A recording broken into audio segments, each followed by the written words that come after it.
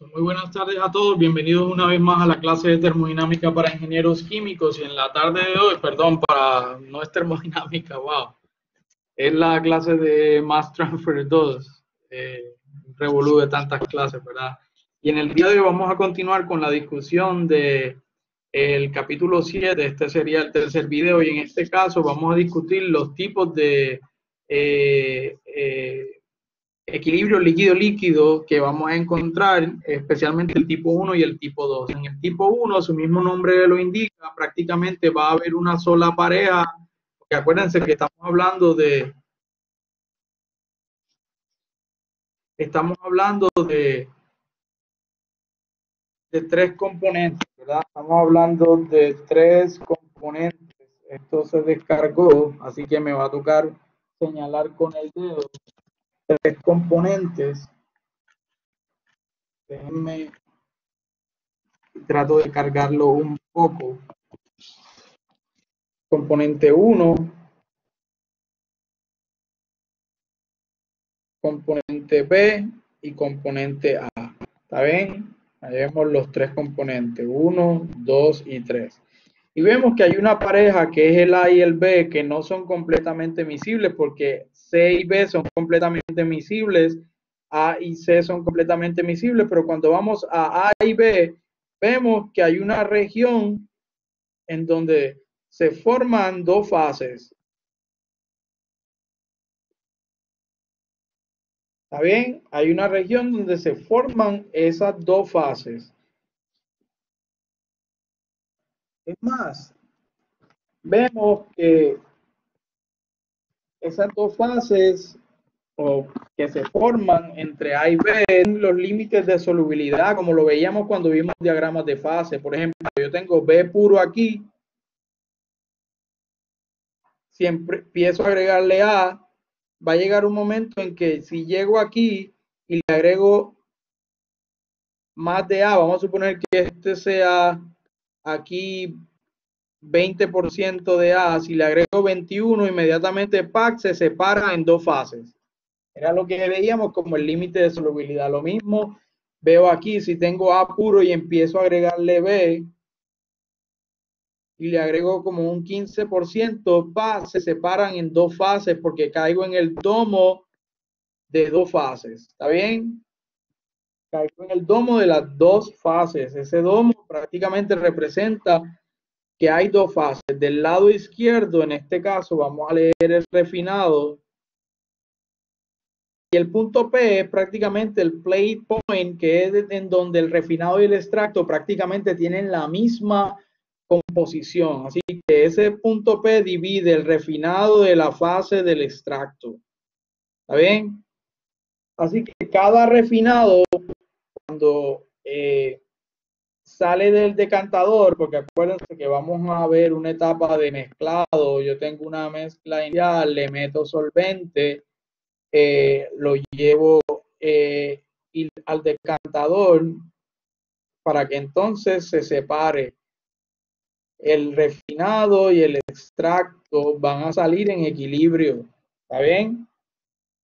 Van a salir en equilibrio. Prácticamente van a ver los tie lines como lo veíamos en la clase de materiales, que unen un refinado con un extracto que salen en equilibrio. Cada timeline une una composición de extracto que está en equilibrio con una de refinado.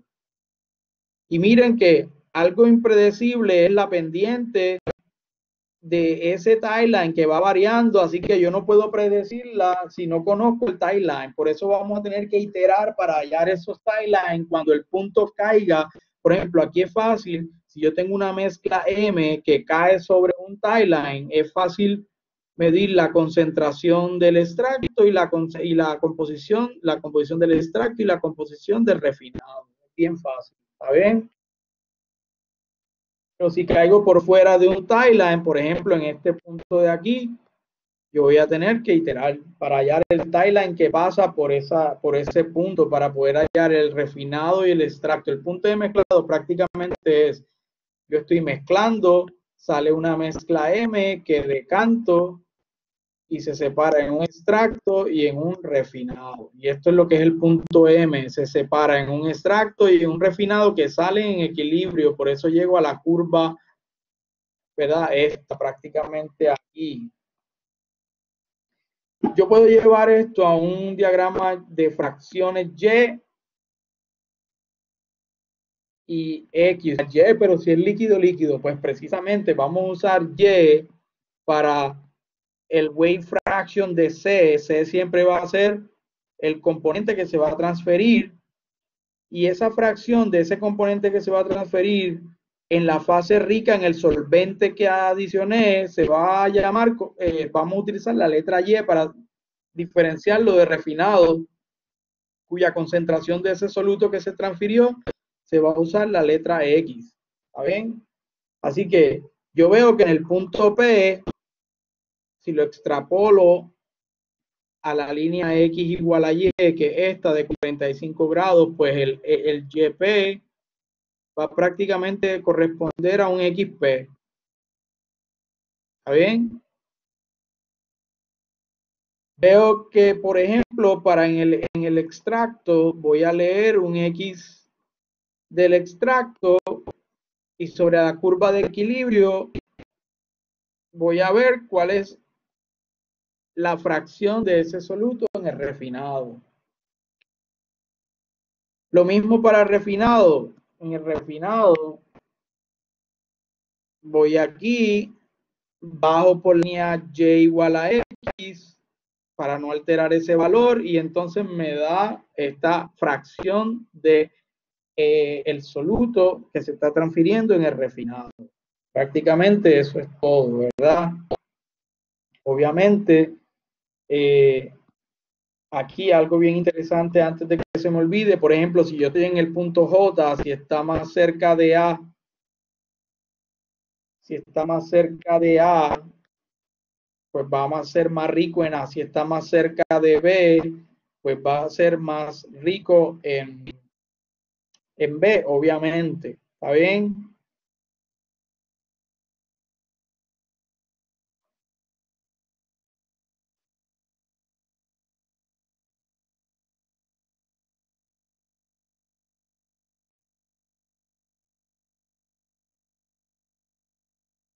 Así que si yo caigo en el punto J, como dice aquí, se va a separar en dos fases. La L, que es rica en el solvente, en el componente A, y la fase K, que es rica en el componente B.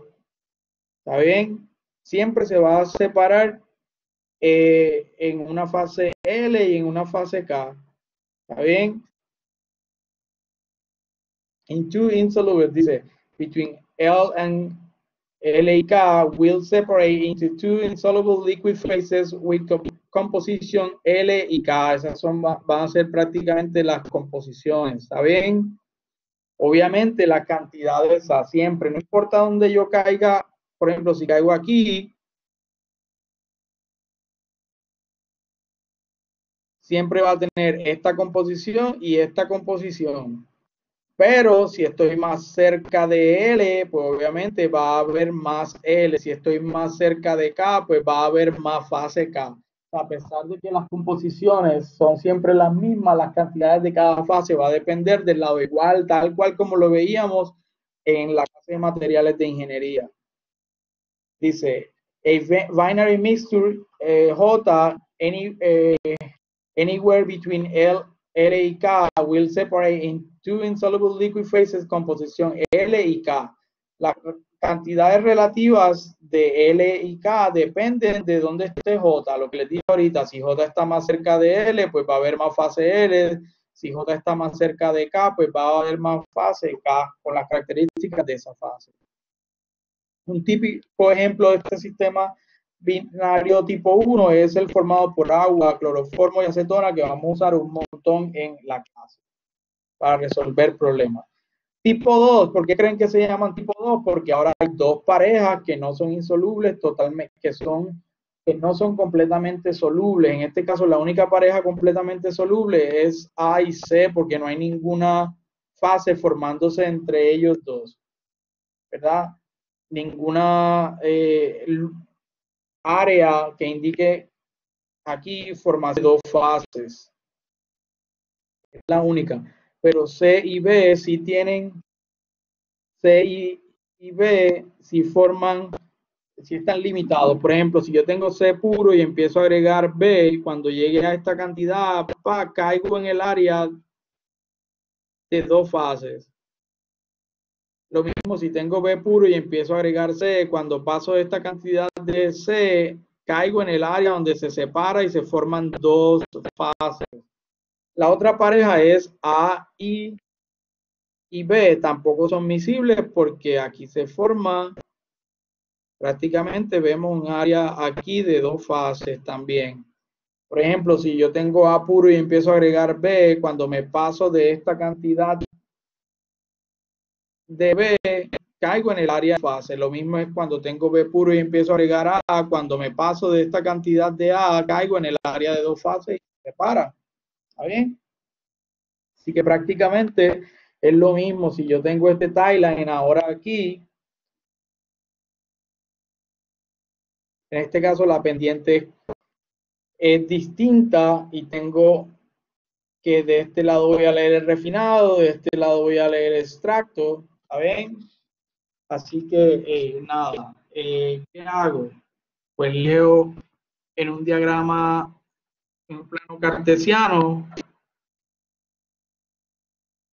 tengo dos E, la línea Y igual a X, pues cuando esté leyendo X, como no puedo leerlo sobre la Y, me voy a la línea X igual a Y y bajo al, e, al, al, mismo valor, pero ahora lo leo como X, no como Y aquí.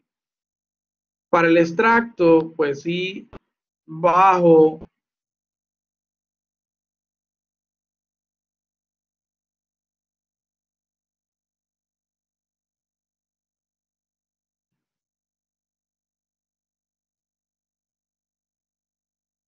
para el extracto que Y, pues lo leo aquí directamente. Y si me doy cuenta sobre la línea de equilibrio, pues me doy cuenta que Y y XR están sobre la curva de equilibrio porque obviamente hay un tie line que me indica que esta pareja correspondiente a R y E está en equilibrio y el punto M está sobre esa línea. ¿Está bien? Si yo quiero leer el XH, pues bajo por la línea X igual a Y. Porque no lo puedo leer en el, en el eje de la Y, bajo por la línea X igual a Y. Si L, que es el extracto, pues lo leo directamente sobre el eje de Y y lo extiendo y me doy cuenta que caigo sobre la curva de equilibrio. ¿Está bien? Porque esta pareja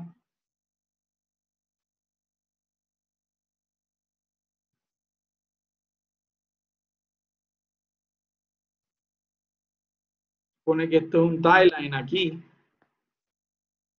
H y L están en equilibrio. ¿Está bien? R y E están sobre la línea de equilibrio. Así que ahí vemos entonces la diferencia entre el tipo 2 y el tipo 1. Cuando aumento la temperatura, eh, pues obviamente hay más eh, vibraciones atómicas o de componentes, eh, eh, interactúa mejor una fase con la otra y por eso veo que paso de un sistema de tipo 2 a un sistema tipo 1 y luego veo que el área de dos fases cada vez es más pequeña porque ellos no se quieren separar porque la temperatura aumenta la solubilidad de un componente en el otro. The effect of the temperature on solubility of the system, hexene, aniline, and methyl cyclopentane. Ahí vemos esos tres componentes que forman ese sistema. Pero trabajar en sistemas triangulares es muy complicado, más tedioso. Lo que vamos a hacer es prácticamente vamos a convertirlo a sistemas de triángulo rectángulo en donde simplemente eh, A, B, C son las posiciones. En el eje de la X vamos a poner el porcentaje de eh, B. El porcentaje de B es, por ejemplo, si yo tengo agua, acetona